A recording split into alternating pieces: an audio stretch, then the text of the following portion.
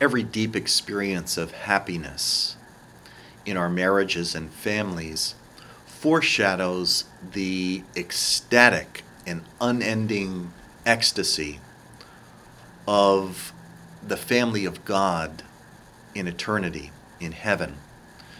And so, our families, when our marriages and families are grounded in a burning desire for heaven, C.S. Lewis tells us that that is um, the people who are most productive in life have that burning desire for heaven because they know what really counts in life.